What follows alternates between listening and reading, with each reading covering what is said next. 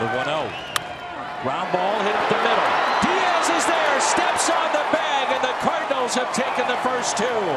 They will look for a sweep tomorrow afternoon.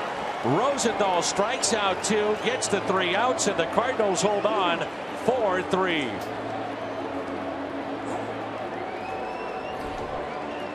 Again, what a ball game.